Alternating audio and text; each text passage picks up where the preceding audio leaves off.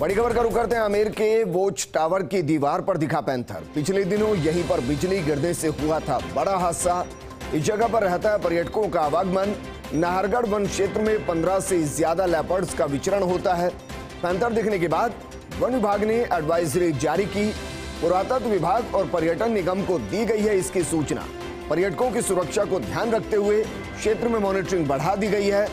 खुद रेंजर नितिन शर्मा क्षेत्र में मॉनिटरिंग कर रहे हैं। और ये तस्वीर हम आपको दिखा रहे हैं। जरा देखिए किस तरीके से दीवार के ऊपर आराम फरमा रहा है। मानो कोई फ़िक्र नहीं, कोई डर नहीं, वहाँ का राजा यही ये जो तस्वीर हम आपको दिखा रहे हैं, ये दरअसल उसी वोच टावर की तस्वीर है, जहाँ कुछ दिन पहले आकाशीय बिजली गिरी थी और दर्दनाक हादसा हुआ था। मेरे सहयोगी निर्मल तिवारी जुड़ गए हैं। निर्मल, ऐसा लग रहा है आराम फरमाते हुए कि मानो पूरा इलाका उन्हीं का है।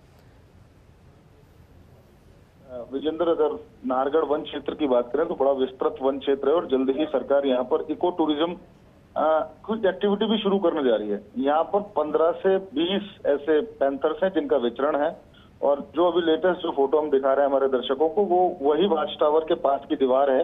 जहाँ पर पिछले दिनों बिजली गिरी थी और एक खतरनाक हादसा हो गया था जिसमें काफ़ी जाने गई थी। और यहाँ पर पर्यटकों का लगातार आवागमन बना रहता है। देखिए वो क्षेत्र ऐसा है जो अभी तक अछूता है बहुत कम पर्यटक यहाँ जाते हैं लेकिन फिर भी जिस तरह से लगातार पैंथर्स का जो कुनबा बढ़ रहा है अगर हम जालाना से लेकर आमागढ़ गलता और नाहरगढ़ की बात करें तो लगातार दस का विचरण भी है तो उसके बाद जैसे ही ये तस्वीरें दिखी हैं उसकी फ़ोटो कैमरा ट्रैप के अंदर सामने आई तो उसके बाद वन विभाग ने एक एडवाइजरी जारी की है पर्यटकों के लिए कि वो वहाँ पर ऐसे ना जाएँ जब तक कि यहाँ कोई पुख्ता व्यवस्था ना हो पुरातत्व विभाग और पर्यटन निगम और तमाम जो संबंधित जो विभाग है उनको भी कहा गया है वहाँ जी। तो अगर पर्यटक वहाँ जाते हैं तो उनकी सुरक्षा के माकूल निर्मल ये जानकारी लग पाई है पैंथर कौन सा पैंथर है इसकी मूवमेंट क्या अमूमन यहीं पर रहती है या अचानक से यहाँ पहुँचा?